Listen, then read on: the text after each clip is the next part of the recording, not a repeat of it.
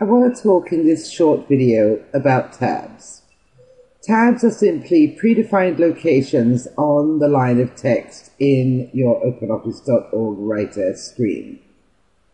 All tabs really do is they allow you to move quickly across the line of text to the location defined by the tab. There are two advantages to using tabs. One is that tabs always make a precise column. You may have experienced trying to use spacebar to line text up and seeing that it doesn't always do quite the job you're looking for. The other advantage of tabs is that you can also align text in columns on the center, on the decimal, and on the right edge, and I'll show you how to do that. To enter the white space that is the tab, just press the tab key on the keyboard. When you do that, OpenOffice.org inserts a non-printing character that appears on your screen as the arrow key shown here on the slide.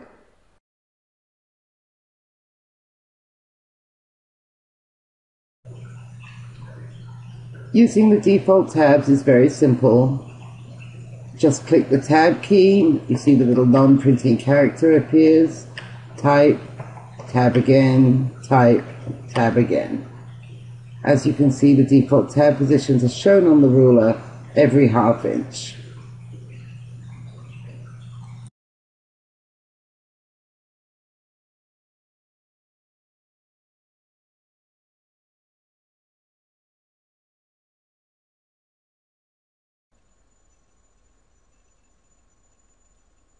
A left tab lines up all the text at that column position at, enough, the left-hand side. Let me show you. Clicking the tab key to move to the left tab. And enter and tab again. Enter and tab again. And you see that we have text lined up precisely at the position of the left tab in the ruler. This is the custom left tab. I'll show you how to set that in a moment.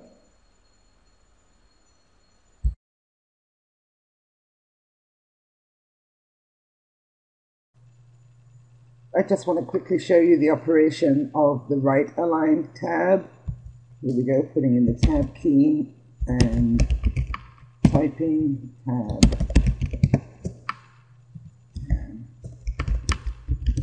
And so you see that on this video, we have the right tab custom set in the ruler, and we have the tabbed text lining up on the right side. So that's as simple as that.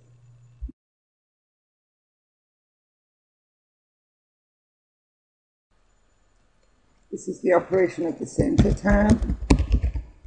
Now, when I type, especially if I make mistakes, you see that the text is centered under the location of the custom center tab in the ruler.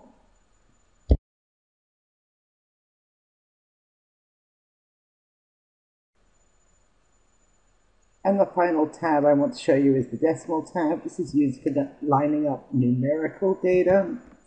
And what happens is it lines up, predictably enough, on the decimal point.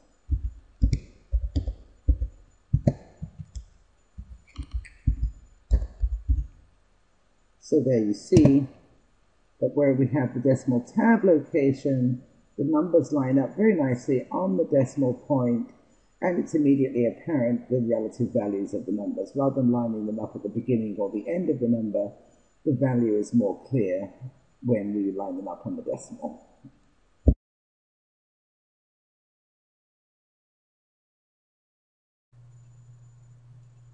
On the screen, I have a list of information of laptops for sale currently at newegg.com. As you can see, this is a good example of a list of information that isn't working well separated using the default tabs. And the reason for that is the laptop names vary so much in length. So I'm going to show you how to use custom tabs to quickly make this look much better and much easier to read. So we'll begin by selecting all five paragraphs in the list tabs are a paragraph level formatting option. So we have to either be in the paragraph or if we're working with more than one paragraph, select all the paragraphs.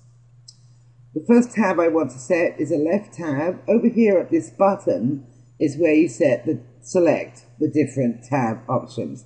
The L icon is for the left tab. If I click, I see the backwards L, that's the right tab.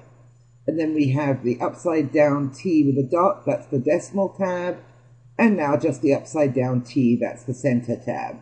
If I click again, it cycles back to the left tab. And with all the paragraphs selected, I'm going to click on the 2 to set the first left tab there. As you can see in all the selected paragraphs, that tab became active. All the CPU speeds have lined up very nicely. And all of the default tabs preceding that new custom tab have been removed. Now I'll click on 3 to set a left tab there, and on 4 to set a left tab there. Finally, for the num for the prices, I need a decimal tab.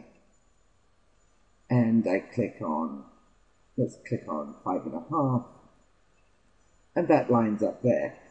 As I look at my finished work, I think, hmm, this might be nicer with a decimal tab.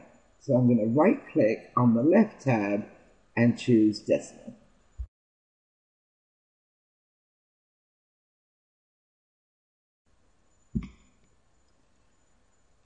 Very quick little explanation of deleting and changing tabs. I did show you how to change the tab type by right clicking. You can also remove a tab entirely by just pointing to it and dragging it off the ruler, and then it's gone. You can move a tab by dragging it along the ruler. And as you'll see, the edited, the text that's controlled by the tab that is selected is also moved. You cannot delete a default tab. It stays there. Only a custom tab.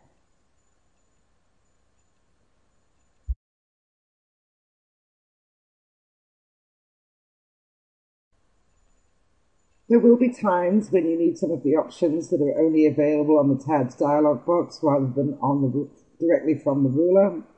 Let me show you. Coming to format paragraph and choosing the tabs tab.